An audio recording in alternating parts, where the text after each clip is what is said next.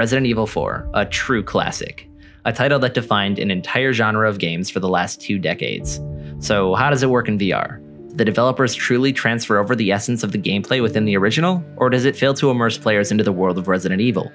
With this quick video, I want to give my semi-professional opinion. As a VR developer, I feel that I can offer a greater perspective on this VR release, and give a proper recommendation for those who are still on the fence about purchasing the game.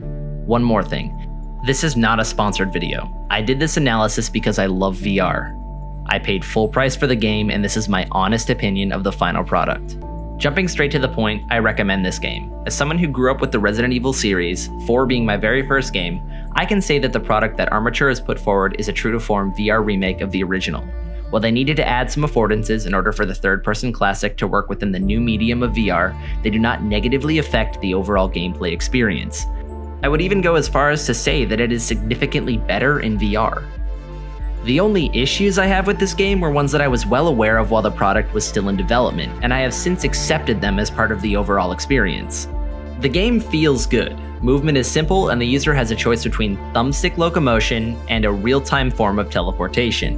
I chose to play with the default controls for the experience, as that is how the developers intended for the user to experience the game. I get motion sick rarely due to having spent over 5,000 hours in VR over the past four years, but I wish the developers had added more options for users to adjust certain parameters to increase comfort within the locomotion system.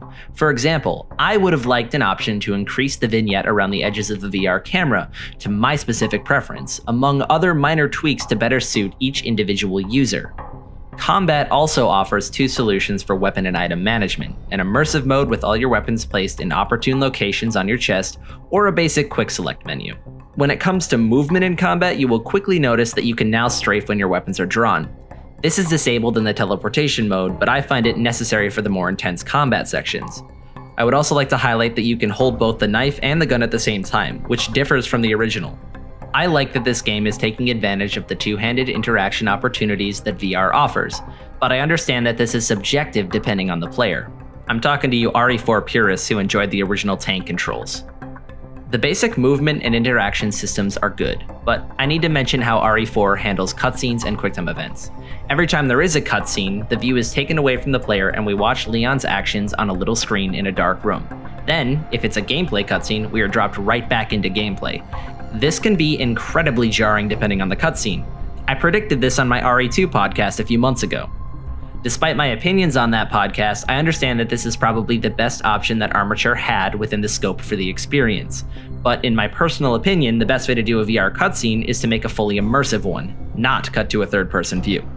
As for the QuickTime events, just black out the screen for some of them. I don't need to see Leon front flip out of a window or push over a ladder. Just cut to black when I go out the window and fade me back in when I'm on the ground. The transition from first person to third person and back to first person is incredibly jarring and only makes sense for very specific use cases.